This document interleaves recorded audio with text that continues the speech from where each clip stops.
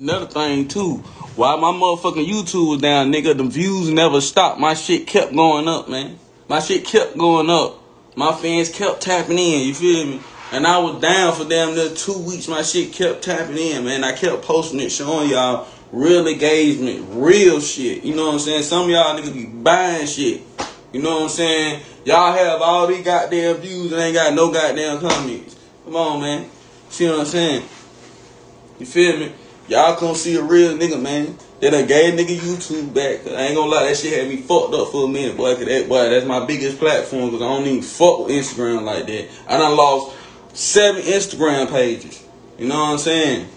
For trapping that motherfucker off this motherfucker. I made a lot of money off of Instagram. Yeah, I did. Yeah, I did. You better ask the streets, nigga. No cap. Y'all niggas never seen a hundred bags. I don't even know what it look like. You know what I'm saying? But link in bio, get your fucking tickets.